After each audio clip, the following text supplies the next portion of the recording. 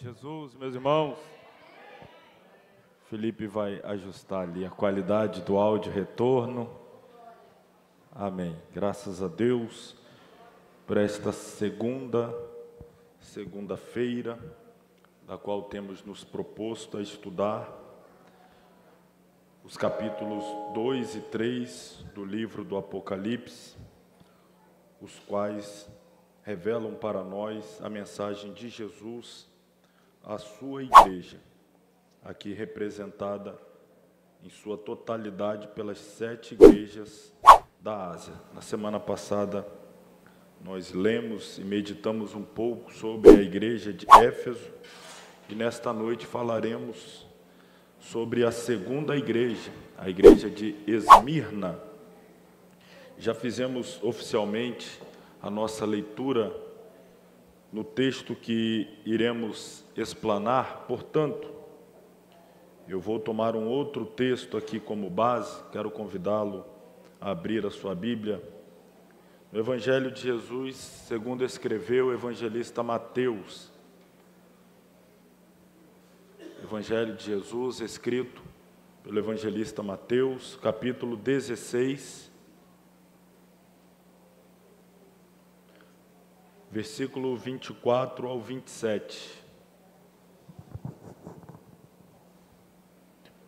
Mateus, o evangelista, capítulo 16, a partir do versículo 24 até o versículo 27. O Senhor Jesus está deixando claro para os seus discípulos o que é ser igreja, o que é ser um membro da igreja de Jesus, um discípulo, um imitador, é aquele que assume a responsabilidade de levar a sua cruz. Então aí está. Disse Jesus então aos seus discípulos: Se alguém quiser vir após mim, renuncie-se a si mesmo, tome sobre si a sua cruz e siga-me. Porque aquele que quiser salvar a sua vida, perdê-la-á e quem perder a sua vida por amor de mim, achá-la. Pois que aproveita o homem ganhar o mundo, o mundo inteiro, se perder a sua alma? Ou que dará o homem em recompensa da sua alma? Porque o filho do homem virá na glória de seu Pai com seus anjos, e então dará a cada um segundo as suas obras. Amém. Vamos orar uma vez mais. Querido Deus, eterno Pai, aqui estamos mais uma vez reunidos como igreja para aprender mais a tua palavra, colocá-la em nossos corações e nos esforçar cada vez mais para praticá-la. Queremos te louvar com a nossa vida, queremos te louvar, ó Pai, com tudo aquilo que fazemos, com tudo aquilo que somos. E por isso desejamos te conhecer cada vez mais, para poder te agradar e te servir melhor nos ajuda, nos inspira nessa noite. Fala não apenas à nossa mente, mas sobretudo ao nosso coração, enchendo a tua palavra, fortalecendo-nos, edificando-nos. Oramos em nome de Jesus. Amém. Meus irmãos, deixa eu começar por explicar a razão pela qual eu li o texto de Mateus capítulo 16, versículos 24 a 27 quando a proposta é falarmos da igreja que estava em Esmirna. Daqui a pouco a gente volta lá para o Apocalipse 2, 8, 9, 10 e 11, que são esses quatro versos que correspondem à mensagem de Jesus àquela igreja. Mas a igreja de Esmirna, como dissemos na semana passada, quando estávamos pontuando, dentro do espectro da história da igreja até o encerramento da sua trajetória aqui na Terra, sendo cada uma delas a representante de um período da história da igreja na Terra. E vimos então que a igreja de Éfeso é a representação perfeita da igreja da era apostólica, que foi do ano que iniciou a sua trajetória a partir da morte de Cristo, 30, 31 até o final do primeiro século, o ano 100. Ali se encerra a chamada era apostólica, com a morte do último apóstolo, o apóstolo João.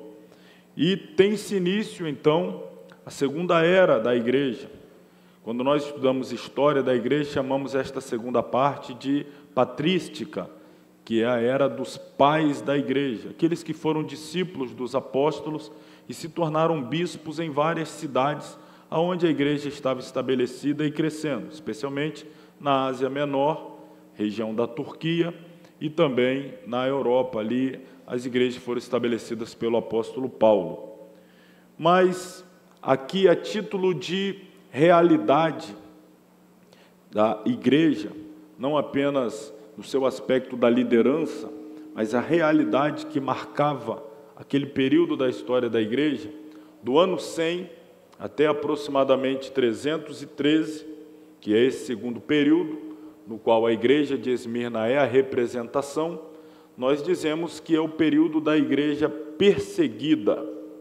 É o período em que a igreja foi marcada por ininterruptas perseguições, as mais violentas da história, as mais atrozes. Boa parte do que citamos aqui na semana passada que era aplicado pelo Império Romano à igreja, aos seus líderes, aos apóstolos, como vimos, mas também a qualquer seguidor que se declarava cristão, adepto do cristianismo, as grandes atrocidades contra a igreja ocorreram neste período, do ano 100 ao ano 313.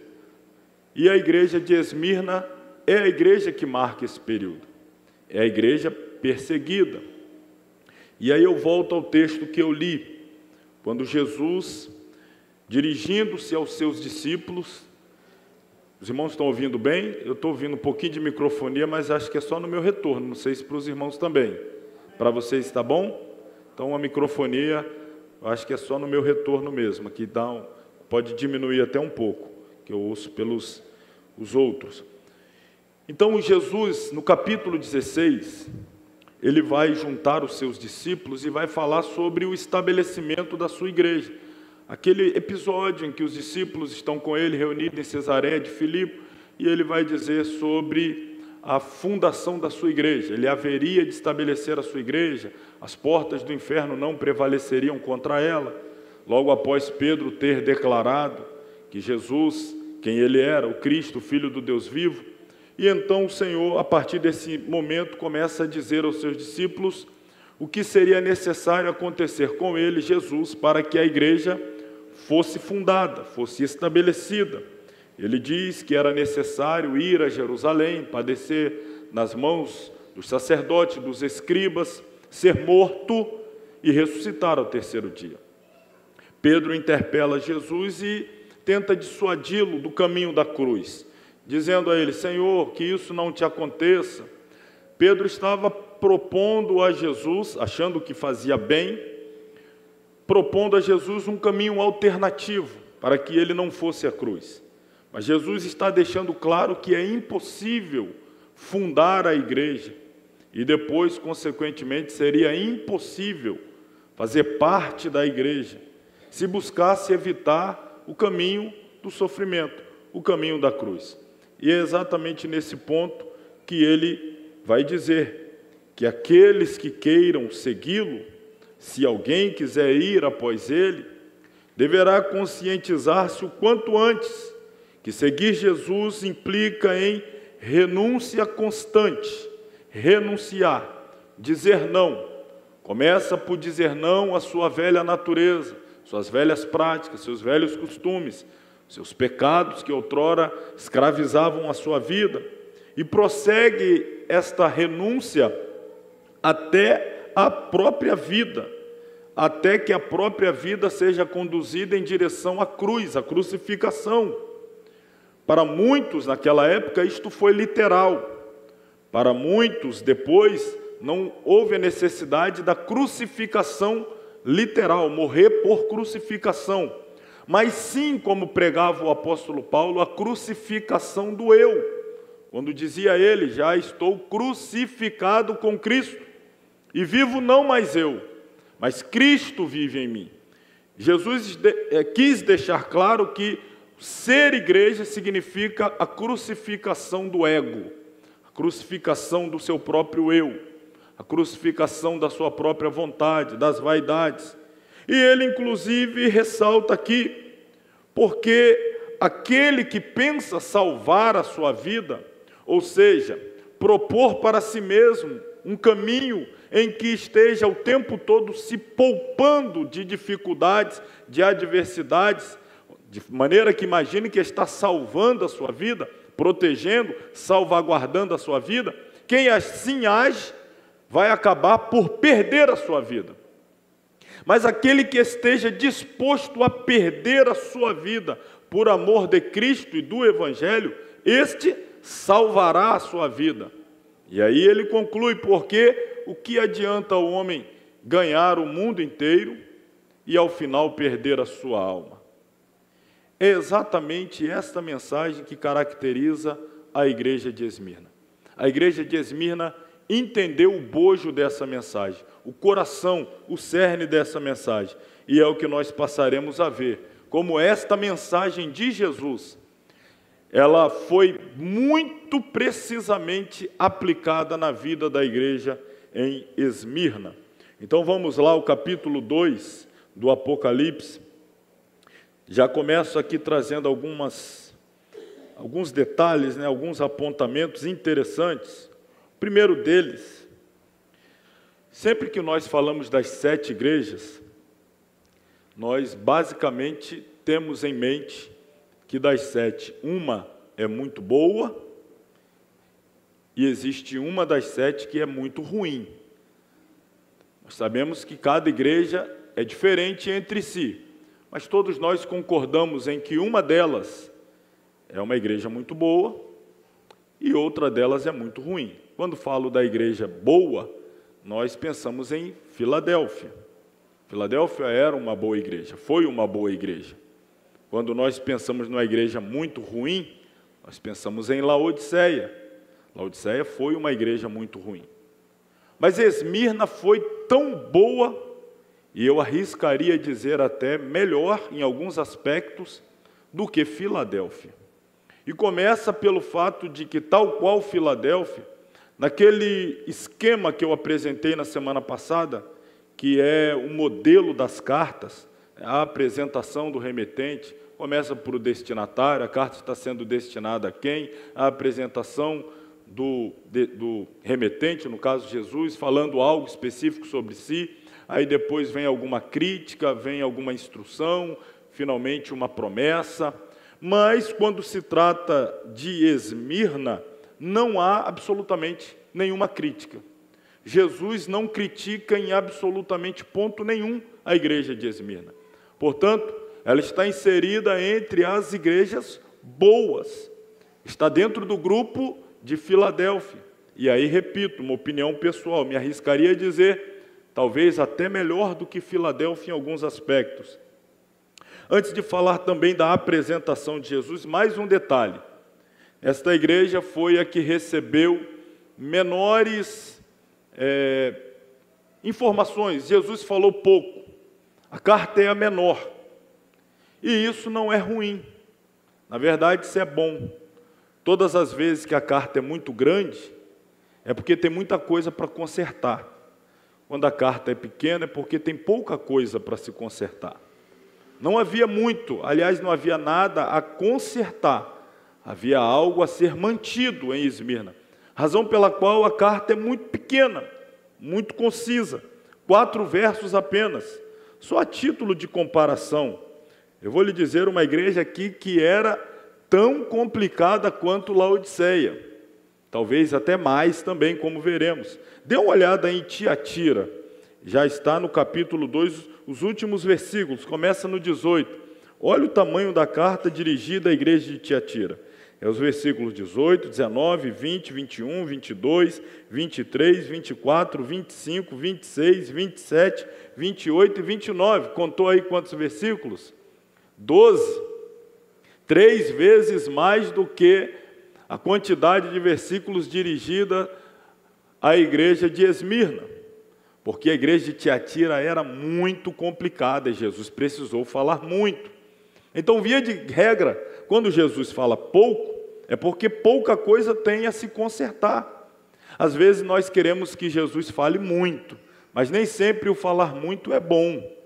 Às vezes o falar pouco é sinal de que as coisas vão bem e precisam apenas ser mantidas, continuar como estão. Esse é um detalhe. Um outro detalhe que eu esqueci de falar na semana passada, mas nunca é tarde, que eu quero aqui pontuar também. Jesus não tem sete igrejas. Jesus possui uma igreja. Então, todas as vezes que nos referimos à igreja de forma pluralizada, igrejas, é óbvio que estamos nos referindo a igrejas locais, a igreja de determinada localidade.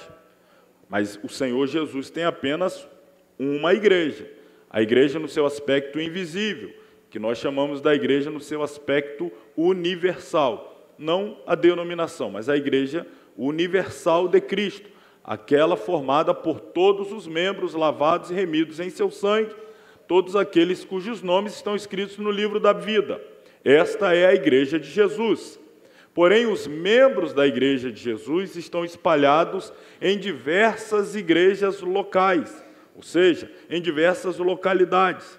E aí eu chamo a sua atenção para observar capítulo 2, versículo 1, a primeira igreja delas, que é a de Éfeso, falamos semana passada, não a de, até me corrijo, mas a em, está escrito: escreve ao anjo da igreja que está em Éfeso. É a igreja de Jesus que está em Éfeso. Ela não é de Éfeso, ela está em Éfeso. Ao anjo da igreja que está, versículo 8, da igreja que está em Esmirna. No versículo 12, ao anjo da igreja que está em Pérgamo. 18, a Tiatira é a única que incorre em um erro gráfico, mas também é a igreja que está em Tiatira. Embora algumas Bíblias aí, se você olhar a sua, versículo 18, algumas Bíblias vai aparecer igreja de Tiatira. Isto é um erro gráfico. É a igreja em. E todas as demais, do capítulo 3, versículo 1, e as outras, é a igreja que está em. Assim como nós dizemos, nós somos a igreja de Jesus Cristo que está no Alecrim, em Alecrim, no bairro Alecrim. Então a igreja de Jesus ela está espalhada em várias localidades. Ela não pertence àquele lugar. Ela está de passagem por aquele lugar, cumprindo a ordem de Jesus de levar a mensagem do Evangelho por todo o mundo. Então nós não somos daqui, é a igreja que está aqui, mas não é daqui. A igreja é de Jesus, a, o destino da igreja, o endereço da igreja é o céu. Aqui ela não passa de mera peregrina e forasteira. Está de passagem, mas com horas contadas. Logo, logo chegará o momento de voltar para casa. O Senhor Jesus breve a levará. Então, outro detalhe que eu não pontuei na semana passada, a igreja de Jesus. É única, mas está espalhada nas localidades. Então, esse ponto também é importante observar. Falando agora especificamente da igreja em Esmirna, a igreja fiel em tempos de perseguição. A igreja fiel em tempos de perseguição. Volto a lembrar, o período mais difícil da história da igreja, no quesito perseguição, foi o período representado pela igreja que, está, que estava em Esmirna. Aliás, um outro ponto também, é, os irmãos sabem que essas sete igrejas, a localidade geográfica onde elas estavam situadas no primeiro século, é hoje atual país da Turquia. As sete igrejas estavam localizadas onde hoje é o atual país da Turquia.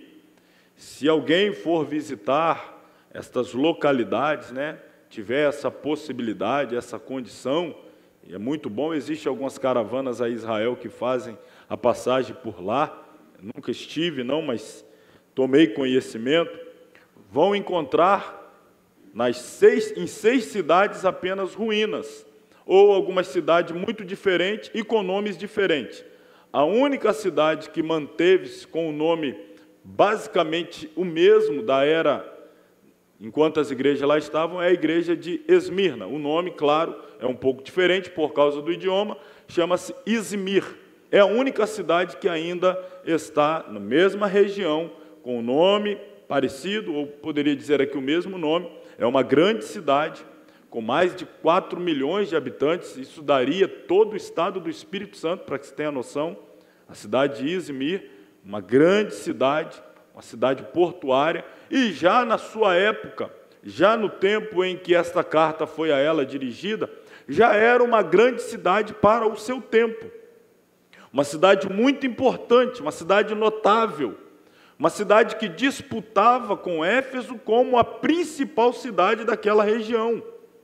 Uma cidade que se destacava, sobretudo, pela sua irrestrita fidelidade ao imperador romano. A cidade de Izmir, ou Esmirna na época, para que se tenha ideia, era tida como o berço do paganismo. O que significa isso?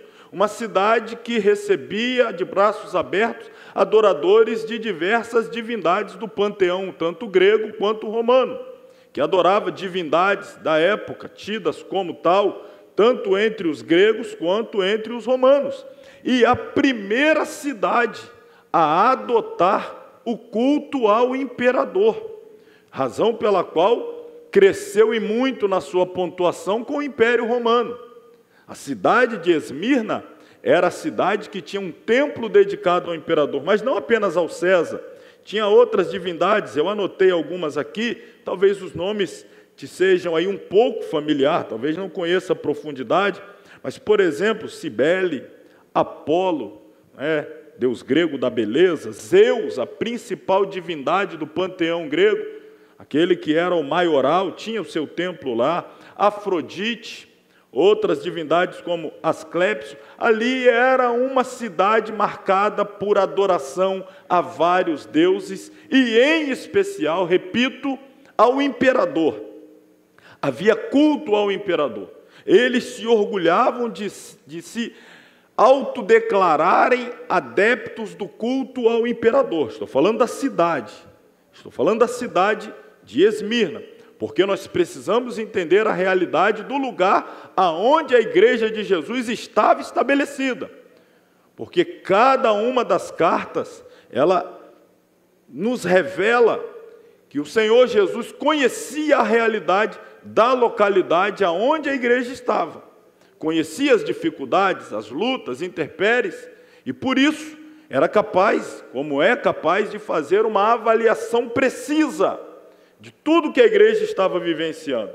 Então a igreja de Esmirna, Esmirna era uma igreja que estava estabelecida em uma localidade de paganismo, de idolatria, de culto a vários deuses, recebia de braços abertos quem adorava várias divindades e se orgulhava, se ufanava de ter um templo dedicado ao Deus César, ao imperador romano, assim o tinha como tal. Como é que Jesus se apresenta, portanto, a esta igreja? A esta igreja, Jesus se apresenta da seguinte maneira, versículo 8: Isto diz o primeiro e o último. Essa expressão primeiro e último, estudar a denotação de eternidade. Primeiro e último é o mesmo que dizer o eterno, o Criador, o que era antes de todas as coisas, e ainda que todas as coisas vierem a ter um fim, ele continuará sendo, ele é eterno, estava no princípio, estará por toda a eternidade. Por que é que Jesus está se revelando à igreja de Esmirna como primeiro e último, como eterno? Isso é importante observar, irmãos. Está chamando a atenção da igreja para o fato de que ele é eterno. E fazendo com que a igreja tenha os seus olhos fitados na eternidade. Vocês vão entender isso muito claramente, porque Jesus passou um período de 33 anos e meio peregrinando nesta terra. E o período de peregrinação de Jesus aqui nesta terra uma parte significativa foi caracterizado por muita perseguição e sofrimento. Mas ele está dizendo: Eu sou o primeiro e último. Isto foi uma vírgula na minha história. Isto foi um momento, uma passagem, mas eu sou eterno. Então não fique focado no que é temporal, continue marchando focado no que é eterno. Ele está falando para uma igreja que enfrenta perseguição, mas está dizendo: isto passa, isto tem hora marcada para começar e tem hora marcada para terminar. Mas você serve um Deus que é o primeiro e é o último, é eterno, e logo tirará cada um de vocês da história temporal e os colocará na eternidade também. Continue focado no que é eterno. É por isso que eu disse que a igreja entendeu bem aquela mensagem de Jesus aos seus discípulos. Do que adianta ganhar o mundo e perder a eternidade, a alma, perder a eternidade. Do que adianta ser bem-aventurado aqui, se você abre mão da eternidade? É aquela palavra dita por Billy Graham, é, a vida é curta, a eternidade é longa. As pessoas dizem assim: a vida é curta, vamos aproveitá-la ao máximo. Mas a pessoa não deve focar no a vida é curta. Ela deve focar no a eternidade é longa. Será que vale a pena aproveitar muito, de qualquer forma, irresponsavelmente, a vida que é curta e depois ter que pagar a eternidade longa por ter aproveitado de uma vida curta? Ou seria melhor enfrentar sofrimentos numa vida curta para desfrutar de uma eternidade que é longa? Jesus está dizendo: foco na eternidade. Do que vale ganhar o mundo e perder a eternidade? Do que vale estar bem aqui num período passageiro, abrindo mão da eternidade. Jesus abriu mão temporariamente de estar lá na eternidade, entrou na história humana e nesse período ele enfrentou sofrimento, mas ele sai do sofrimento vitorioso, retorna à eternidade. Está dizendo para a igreja: o sofrimento de vocês é passageiro, fiquem com os olhos fitados na eternidade. O primeiro e o último. Fui morto, mas estou vivo. Eu disse isso semana passada, não é? Ele está falando isso para a igreja que está em uma cidade, que adora a várias divindades, que adora pseudo-divindades. Claro, irmão, quando eu digo isso aqui, é apenas a nível da cultura da época. Não são deuses, pseudo, falsos, né, que eram tidos como tais por gregos e romanos daquela época. E eram abraçados em Esmirna. O próprio imperador era abraçado como uma divindade, embora morresse, passasse. O trono dele ficava vago, outra assumia, morria, ficava vago, outra assumia, e algumas vezes até em rebeliões internas, em disputas internas entre próprios aspirantes ao cargo de imperador, às vezes até em algumas ciladas perpetradas por generais que queriam ocupar o trono e matavam o imperador, ocupavam o seu lugar, e assim se fazia como divino, mas era marcado por morte, e depois outra assumia o lugar, e muitas religiões até hoje servem a deuses ou têm como ídolos pessoas que estiveram vivas, mas estão mortas. Porém, Jesus é aquele que vem na contramão, repito, ele é o único que pode dizer: Eu estive morto, mas estou vivo para todo sempre. Amém. O sofrimento, ele está dizendo, é passageiro e até a morte. A morte é a porta que dá fim ao sofrimento e acesso à eternidade. A morte é o último estágio nesse caminho de sofrimento que nos conduz à próxima etapa, que é a eternidade. Depois da morte não acaba tudo. Para a igreja, depois da morte, tudo começa. Começa depois da morte. Jesus está dizendo: Eu sou eterno, primeiro e último, eu estive morto, mas revivi. E aí, como disse a Éfeso, e ele diz a todas as igrejas: Eu sei as tuas obras. E eu falei na semana passada, né? O que essa expressão causa em nós quando Jesus afirma conhecer as nossas obras? E não apenas o que fazemos, mas por que fazemos. Ou seja, a motivação com que fazemos. Ele está dizendo para esta igreja: Eu conheço as tuas obras. Veja quais são: tribulação, pobreza. Está aí, ó. Eu sei as tuas obras. Tribulação, pobreza, mas tu és rico.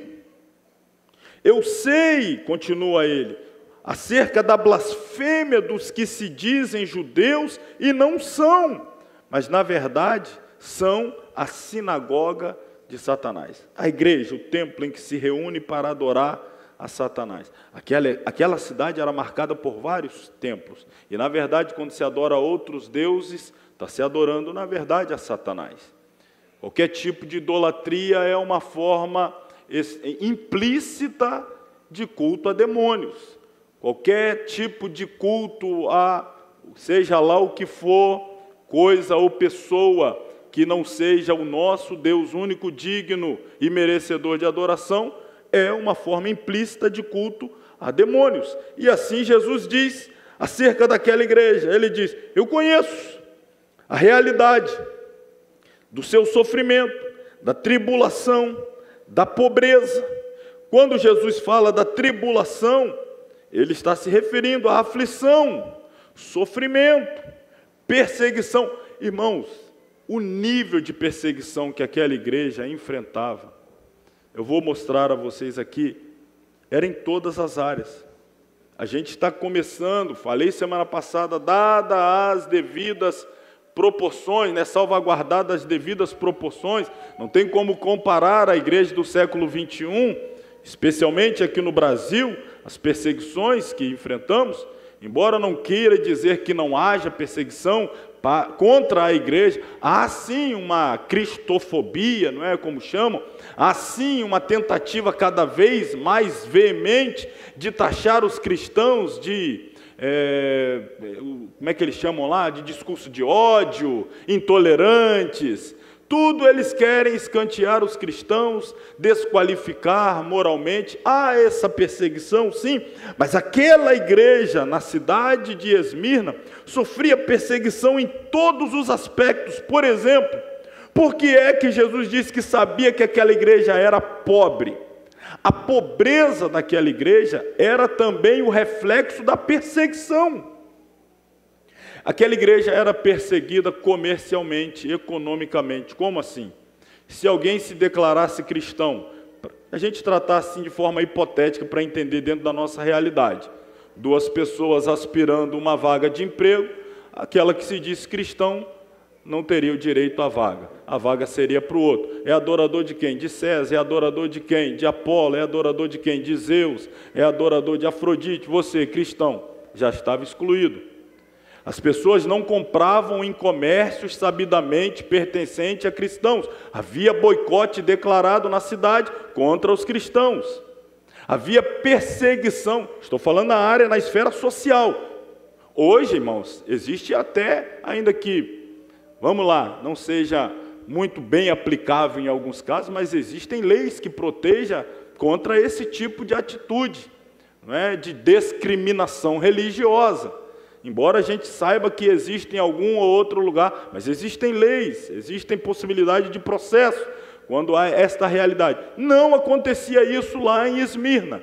Na verdade, era um boicote que começava do Estado. Opa, será que era só lá? Era um boicote estatal. O Estado sentenciava a morte quem se declarava cristão.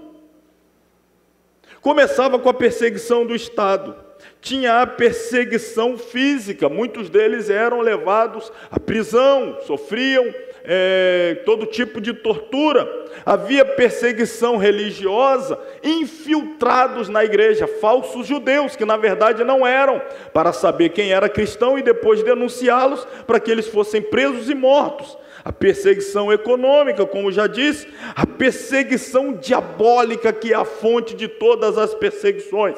Aquela igreja vivia num ambiente de perseguição em todos os aspectos, repito, na área econômica, na área social, na área religiosa, na área espiritual, na área estatal, e apesar de tudo isso, aquela igreja era fiel.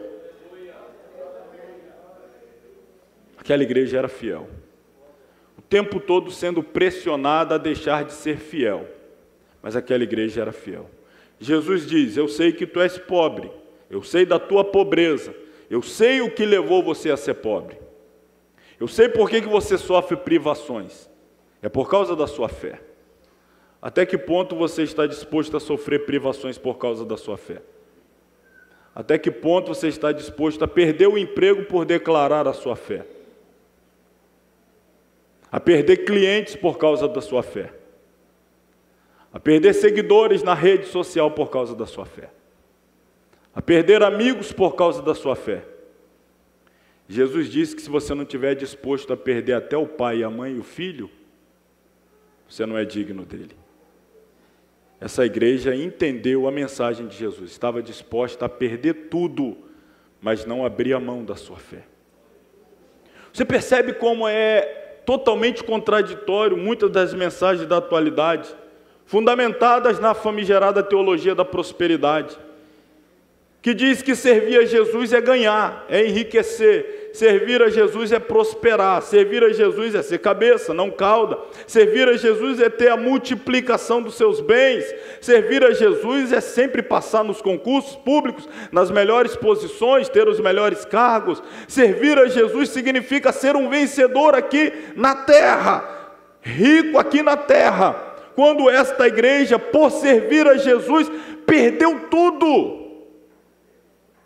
perdeu tudo por servir a Jesus, se tornou pobre pelo fato de ter declarado Jesus como o único e suficiente Salvador. Tudo isso poderia ser resolvido, as questões financeiras daquela igreja, se apenas eles decidissem se curvar ao César, reconhecendo-o como divino, ou a outra divindade.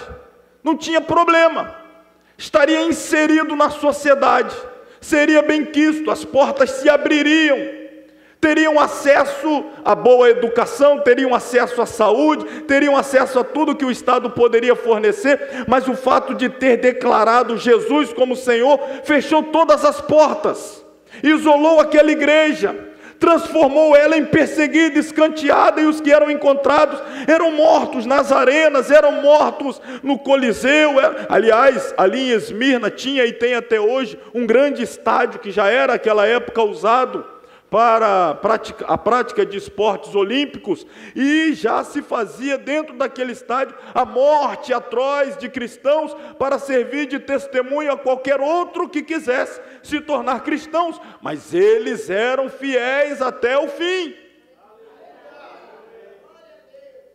E aí a pergunta que deve ficar para mim, para você, até onde eu estou disposto a perder para continuar mantendo a minha comunhão, comunhão intacta com Jesus?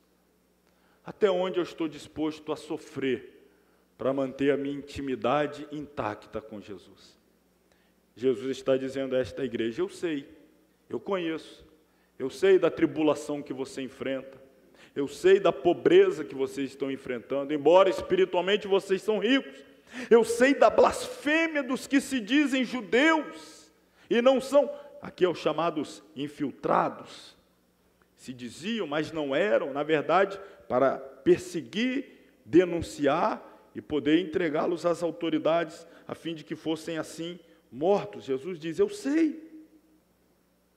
Mas apesar de saber de tudo isso, ele diz no versículo 10: Nada temas, olha que interessante, nada temas das coisas que hás de Puxa, eu estou falando já de um monte de sofrimento. Jesus está dizendo: fica tranquilo. Não temo que vocês vão sofrer, Não, mas a gente não já está sofrendo? Mas não temo que vocês ainda vão sofrer. Ainda haverá muito sofrimento.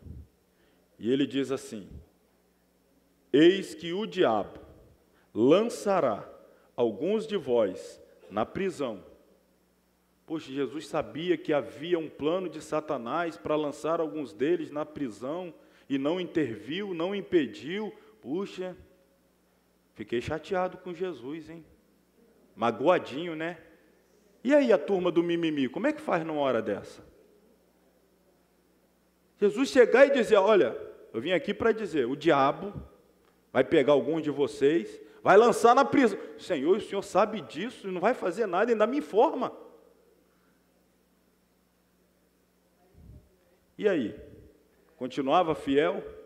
porque a gente gosta de ouvir eu sou contigo, vou te dar vitória, olha a bênção, pega a chave, o anjo chegou, vou mudar a sua história, quem te viu embaixo vai te ver em cima, ou CD aí, entra nesse avião, tira esse passaporte, olha a multidão, aí chega para essa igreja e diz assim, fica tranquilo, apesar de todo sofrimento, vai piorar. Na verdade, Jesus sabe com quem ele pode dizer isso sabe quem ele pode dizer isso. Ele conhecia o nível de fidelidade daquela igreja e sabia que estava disposta a ir um pouco mais, se necessário, até a morte, como de fato foram até a morte, mas não negaram a Jesus.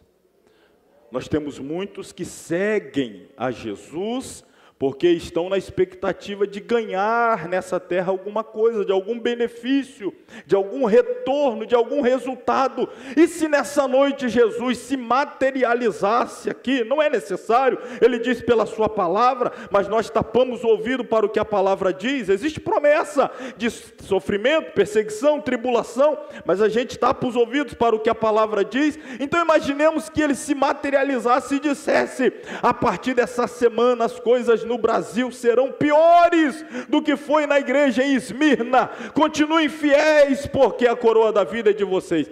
Quantos continuariam? Ele sabe para quem ele pode revelar essas coisas o nível de entrega, de fidelidade, de comunhão. A igreja de Esmirna, e aí, irmãos, e eu não digo isso aqui por favor, irmãos, eu digo, é, eu, eu falo isso sempre com muita transparência e quero que vocês entendam isso, não como falsa hipocrisia, mas realidade. O que eu fico falando aqui é aquilo que Deus ministra a mim, como diz assim, é, me tratando, me lapidando. Não estou aqui passando recibo de santo querendo ensinar vocês a ser crente. Ó, senta aí e aprende comigo como é que é ser crente. Nada disso. Eu estou falando dos desafios que eu, tu, nós, vós, a gente enfrenta. A nossa geração, a igreja do século 21, eu estou dentro dessa realidade. Eu enfrento os mesmos dilemas. O que me diferencia de alguns aqui é o nome que vem escrito na credencial. De um está escrito pastor, do outro evangelista, do outro membro, mas estamos lutando as mesmas lutas, desejando ir para o mesmo céu, cada um com seus desafios. Não, hipótese alguma estou querendo aqui passar imagem de super santo, ensinando a não santos como ser como eu, santo. Nada disso, longe disso, na verdade. Longe disso. Mas o que eu quero dizer é o seguinte: a gente percebe de fato a maturidade espiritual de alguém depois que a gente vê como ela enfrenta os sofrimentos.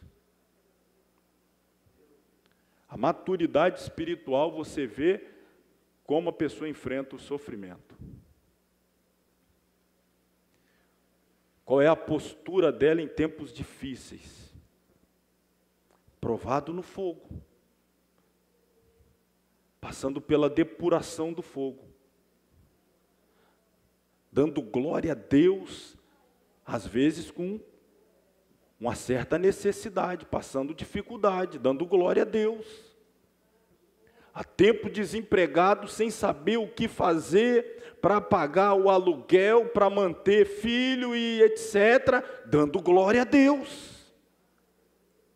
E a maioria não faz a mínima ideia do que ela está enfrentando e ela não fala para ninguém, só fala para Deus.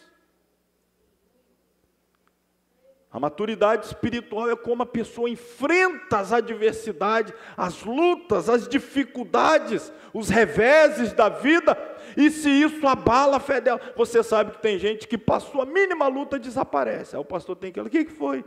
É, não, o irmão lá falou um negocinho lá. Ah, me fiquei chateado, pastor. Fiquei chateado. É, irmão, por é, tem, você tem três meses que não vem para a igreja por causa disso? É. Tá bom, irmão, vamos lá. Eu vou pedir o irmão para falar com a senhora, com você, seja lá, te pedir perdão. Ainda vem assim toda. É, a gente é essa geração. A gente. Qualquer coisa é motivo para nos afastar de Jesus. Na verdade, a gente já está longe. A gente já serve Ele bem de longe. Aí qualquer coisa a gente já transforma em motivo. A gente quer poder ter a razão. Ah, por que que to... É por causa disso, por causa daquilo, por causa daquilo outro. Essa igreja aqui era fiel em um lugar que ninguém adorava Jesus. Ela adorava Jesus.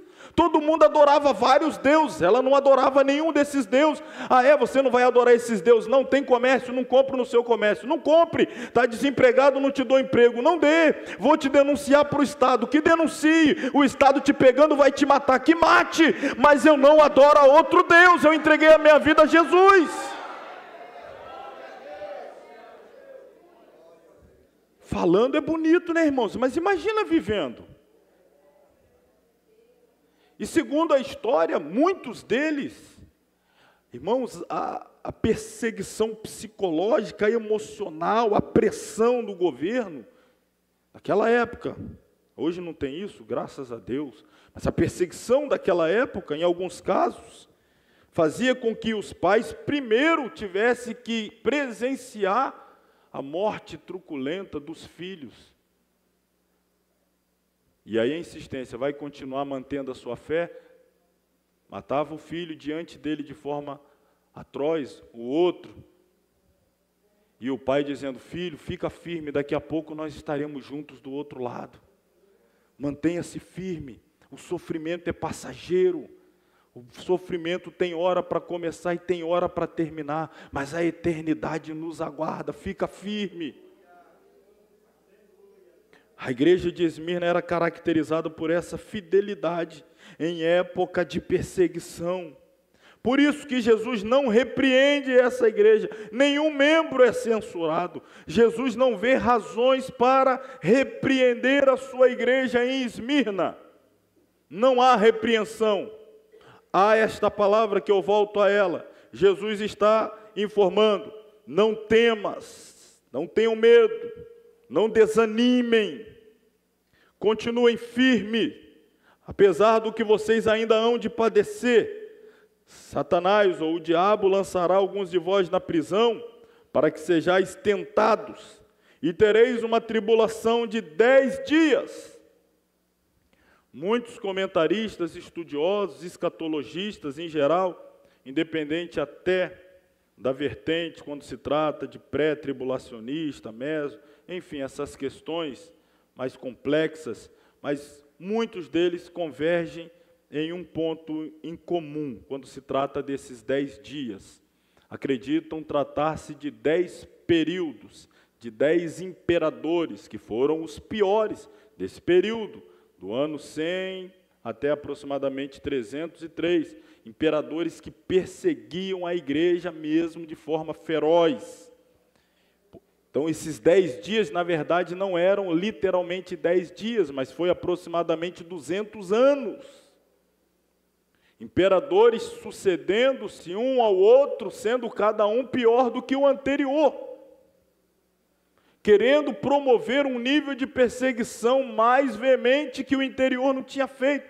Imaginava assim: o, interior, o anterior aplicou esse tipo de punição e não conseguiu exterminar o cristianismo? Não. Então eu vou perseguir mais e não exterminava. O cristianismo crescia, o outro vinha perseguindo ainda mais e não exterminava. O cristianismo crescia. Daí a razão daquela letra da canção que nós sempre cantamos: nós somos a semente do sangue. Porque à medida que caía nas arenas, à medida que caía nas ruas, à medida que caía em vários lugares onde eram mortos de forma truculenta, o sangue deles na areia fazia com que germinasse uma quantidade muito maior de cristãos. As pessoas olhavam e queriam descobrir a razão da fé daqueles que não retrocediam, não recuavam, olhavam e tinham a seguinte inspiração: vale a pena viver por algo que nós estejamos dispostos a entregar a nossa vida. Aqueles que tinham vidas vãs, vidas vazias, olhavam para aqueles cristãos morrendo daquela forma, mas apesar da truculência com a qual morria, olhavam olhava no seu rosto, via um semblante sereno, canção de adoração a Deus nos lábios e esperança diante da espada, diante da tocha de fogo, diante da cruz, um olhar de esperança. As pessoas viam aquilo e diziam: Eu quero também servir a este Deus, que este está morrendo por causa dele. Por que é que Deus permite sofrimento ao seu povo? Muitas vezes o sofrimento aplicado ao povo de Deus é inspiração para a conversão de outros. E no final das contas, se é verdade que a nossa vida, toda a nossa vida é para a glória de Deus, você deve procurar como Deus pode ser glorificado através do seu sofrimento. Ao invés de você orar pedindo a Deus para te tirar, que é o mais normal, é o mais natural de qualquer um de nós, é pedir a Deus que tire-nos do sofrimento, mas que nós tenhamos a maturidade espiritual que tiveram aqueles três jovens, adolescentes entrando na juventude, Ananias, Misael e Azarias, diante da pressão do imperador, diante da pressão de Nabucodonosor, com a estátua colocada, a fornalha acesa, e aqui eu me recordo do que disse o comentarista da lição que estamos estudando nesse trimestre. Ele disse desse episódio dos três jovens na fornalha. Quando três resolveram não se dobrar, e eles são o representante da igreja fiel em tempos de apostasia, porque, irmãos, pense comigo, só tinham eles três de judeus ali na Babilônia? Onde estavam os outros?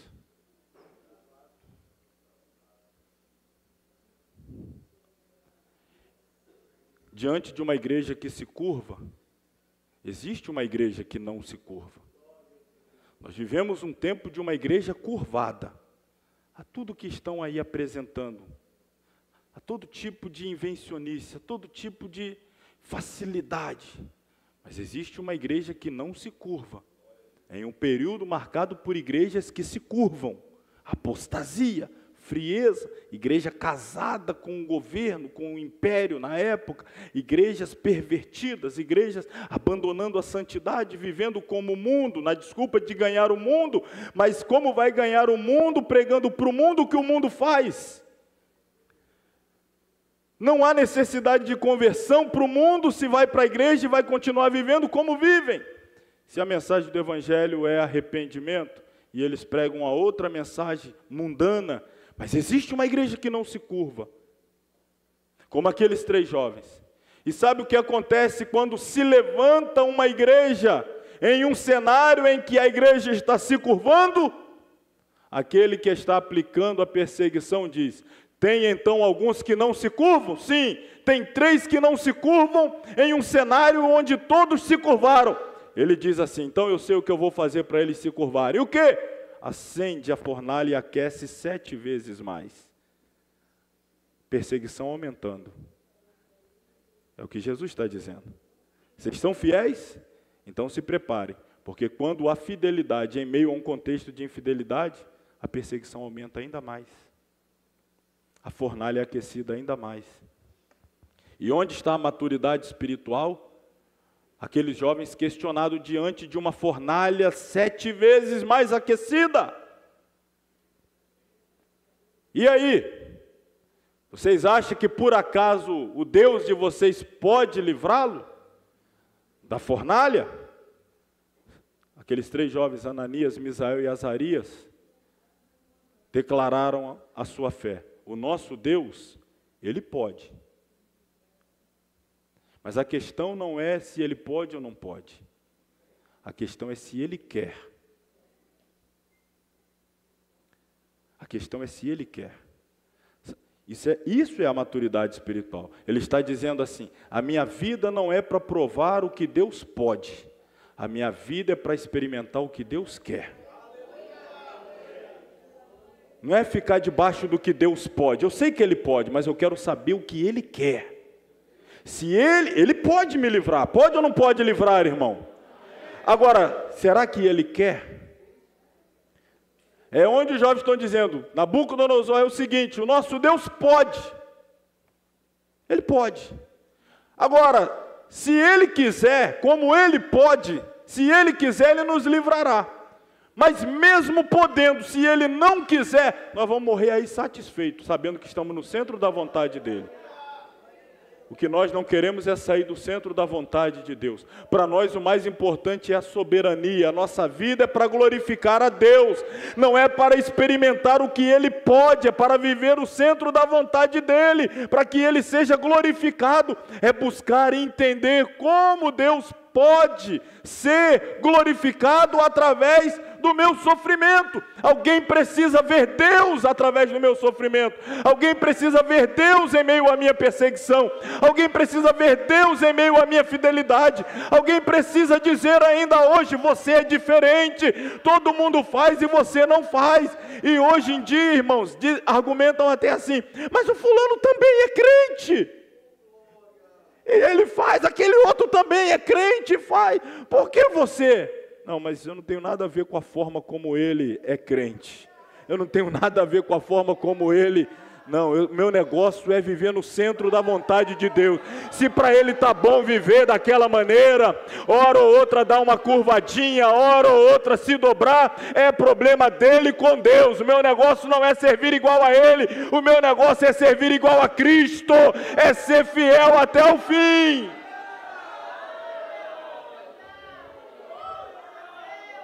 Hoje é complicado, porque antes a gente ouvia, né, você é diferente do mundo. Hoje questiona, mas você é diferente até daquele outro crente ali, daquele outro crente ali, daquele outro crente lá. Voltamos aqui para a conclusão. Ser fiel até quando? E dar-te-ei a coroa da vida. Uma igreja que já vinha de tanto tempo de fidelidade, a recomendação que houve de Jesus não é para mudar, é para continuar. Não houve críticas. E a instrução não é uma mudança de rota, é uma continuidade na rota. Estão no caminho certo. As coisas vão apertar mais, continuem no mesmo caminho. Mesmo as coisas apertando mais, porque o diabo vai lançar alguns de vós na prisão e vai tentá-los por um período de dez dias. Na verdade, como disse, é um período de dez imperadores, 200 anos. Jesus está dizendo: continue mantendo essa mesma fidelidade até o fim. Porque lá no fim, vocês vão ser galardoados com a coroa da vida. É a mesma mensagem que ele entrega em Mateus 16, como eu disse. Pois que aproveita o homem ganhar o mundo inteiro e perder a alma? Ou que dará o homem recompensa da sua alma? Aí então ele diz: Porque o filho do homem virá na sua glória, ou na glória de seu Pai, com os seus anjos, e então dará a cada um segundo as suas obras. A hora da recompensa não é aqui, não é agora. Aqui e agora é para ser fiel até o fim, até a morte. Naquele grande dia será o dia de receber a recompensa. Quando o céu se abrir e a trombeta tocar, e a igreja levada pelo Espírito Santo ao encontro de Jesus, então se estabelecer o tribunal de Cristo, que não é um tribunal para condenação, é um tribunal de julgamento de obras para conferir galardões. Nesse dia, então, receberemos a recompensa, e a primeira e mais importante, a mais preciosa de todos, ele está dizendo: quem tem ouvidos, ouça o que o Espírito diz à igreja: ao que vencer, não receberá o dano da segunda morte.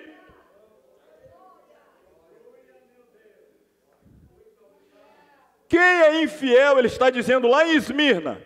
Quem é infiel em Esmirna, que não serve a Jesus, mas adora aquelas outras divindades, estão postergando, postergando a primeira morte, a morte física.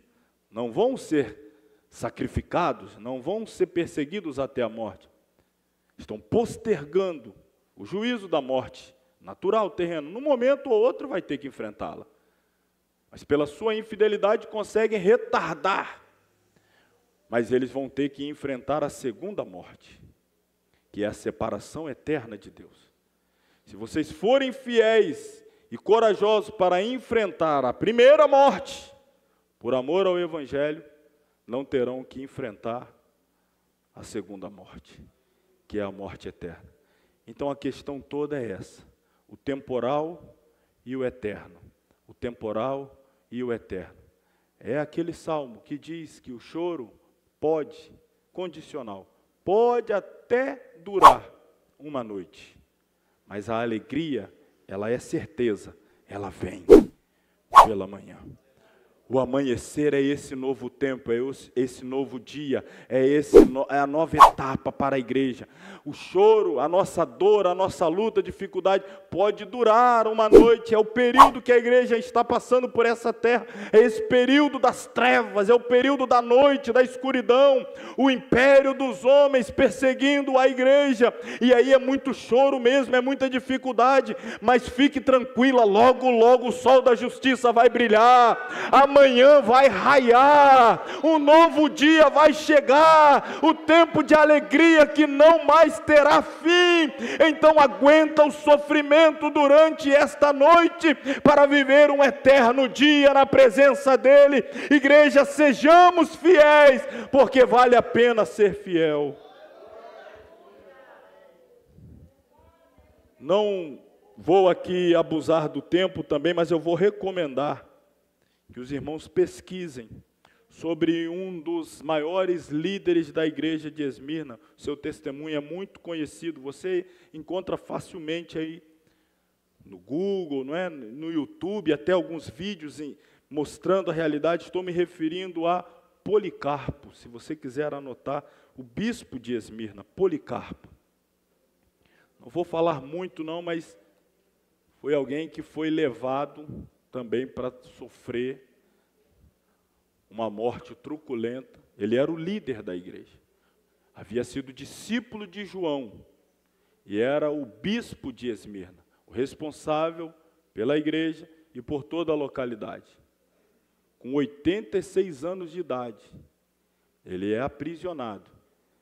E eu convido a vocês a pesquisarem sobre isso. Não vou falar aqui para que vocês possam dar uma pesquisada também sobre o martírio de Policarpo. Eu tenho certeza que vai fortalecer ainda mais a sua fé.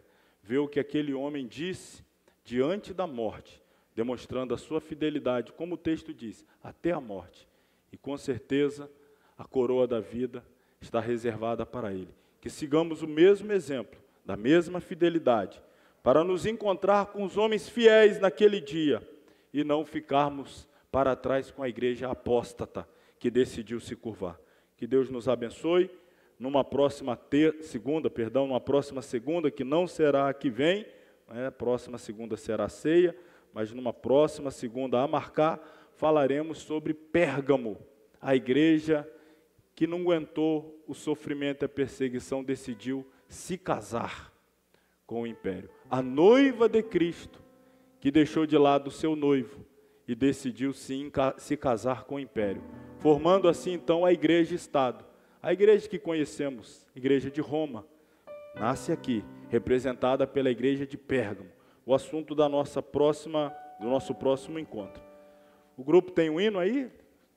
Já está dedilhando aí. Se tiver um hino, vamos adorar a Deus e na sequência a palavra está com o nosso pastor para dar os anúncios e encerramento ao trabalho. Ministério de louvor, tendo um hino para adorar a Deus junto com a igreja. Vamos adorar.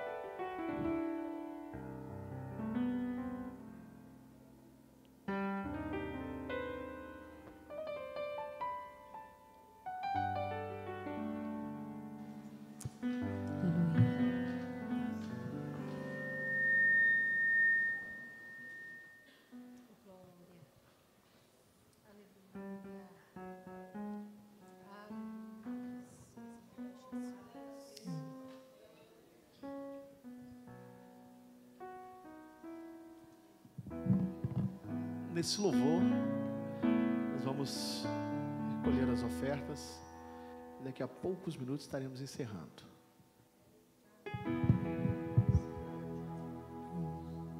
Sempre vou lembrar da coragem do amor, da firmeza e vontade, da fé e